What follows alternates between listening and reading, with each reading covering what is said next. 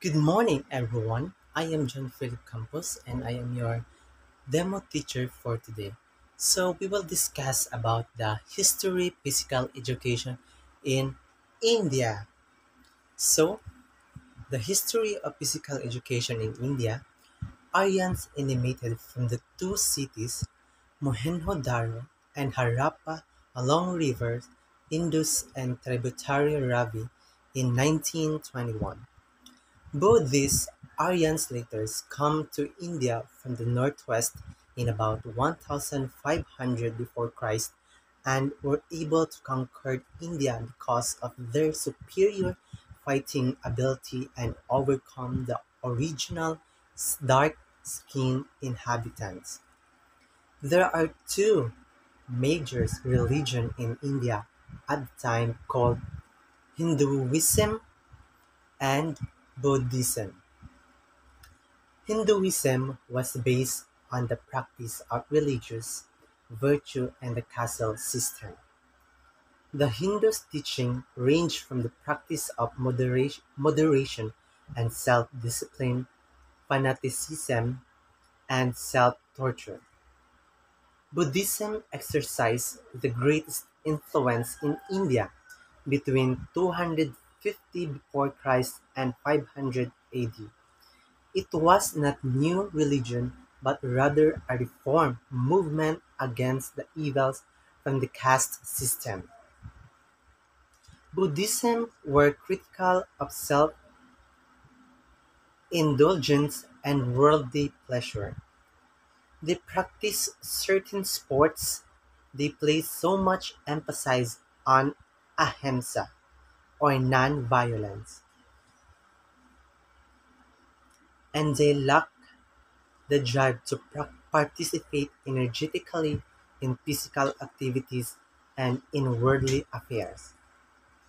The Hindus were interested in educating their children to seek their place in the divine order and to preserve the caste system.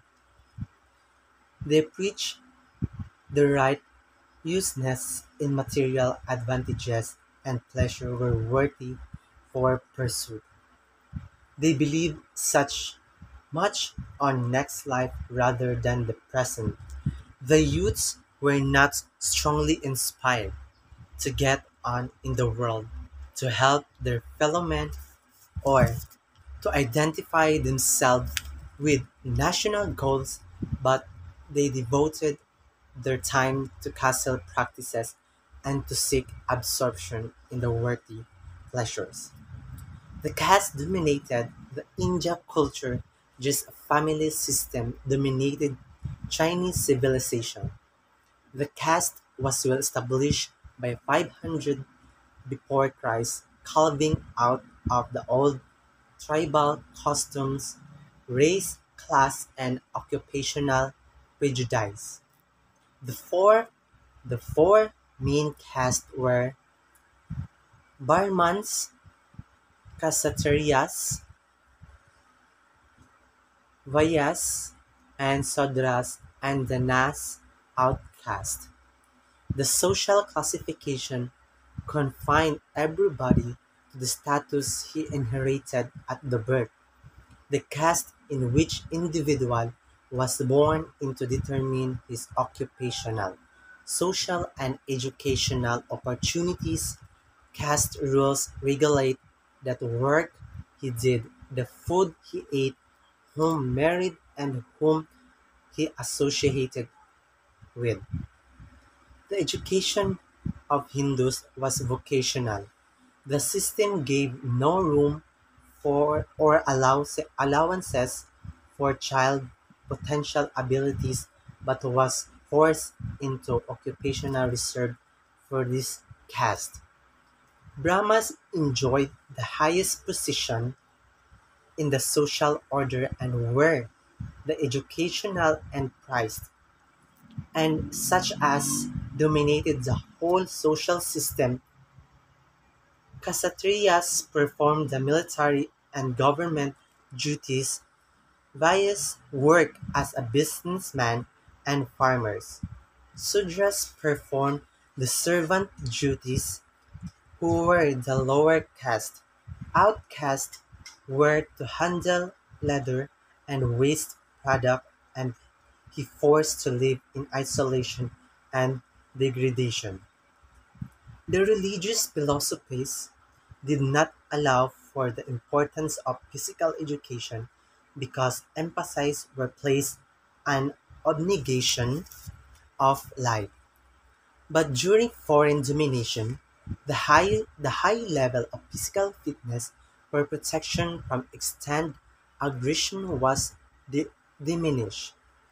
Physical education was with ignored in India. Some groups of physical education considered physical education in emotion well-being a prerequisite for spiritual well-being.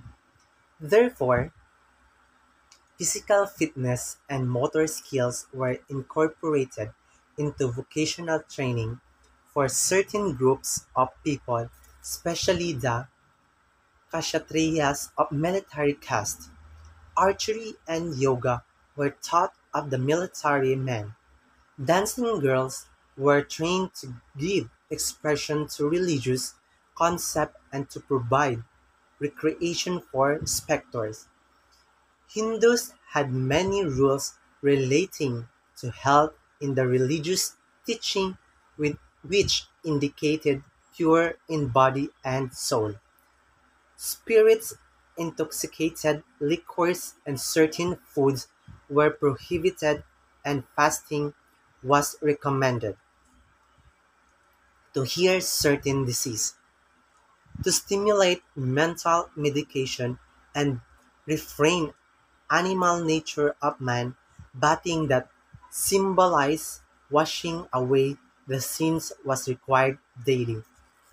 The military caste learned and in infantry, cavalry, chariot, or elephant discussions, archery, throwing of spears, javelin, sword, slings, and battle axe.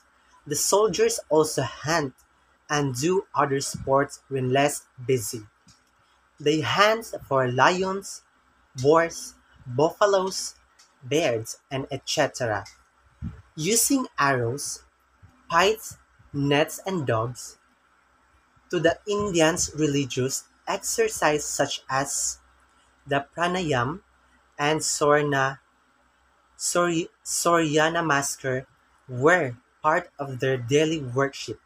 Yoga was a system of religious meditation incorporated where some physical movement, the yoga required an intense develop, development of, of the will of control the body. It consisted of many different meditative postures and regulated control of breathing. Through this exercise, the performer achieved a state of mental relaxation and mental poise that would able to maintain com- communion with God. Other forms of exercises are olive baths and massage for maintaining and restoring health. Massage and oil bath or sauna one is athletic massage, second medical massage, third hygienic massage, other are lubricant, friction, joint movement, vibration, thumping, stretching, and sweating. Games practiced by Indians are dancing, gambling, gambling on animals, fights very popular. There were bulls, ducks, elephants, ram and rhinoceros fights. Polo and wrestling were also popular games. Children's games include whistles, rattle, dice, balls, marbles, animal, bird, and human toys. Dancing was associated with religion that, that that's what we called Shiva. One of the Hindus god was known as the Lord of Dance. There were temp girls who danced for their own sins and for the sins of God. sins of others from the god. There were also dancers who performed at marriage and buckets, music, reading, and writing were taught to the dancing gods. Conclusively, physical education in India was associated with religious for vocational education. History of physical education in India The brief of physical education today in the history of this field in behaviors. It is the source of physical education. Identify many of today's activities have their forerunners and history. For instance, the first Olympic dates back to 776 before Christ in ancient Greek that's the called yoga and karate. Activities with much recent interest dates back to ancient Orient, Oriental societies. Many more facts that will help the physical education educators to understand the present better can be achieved by the studying the past. There are six there are six division of ancient period with physical education evidence. We have Indus Valley Civilization period, the Vedic period, early Hindu period, later Indo period, medieval period, and British period. History of physical education in India. First, the division of India, the division of ancient period with physical education is Indus Valley Civilization period.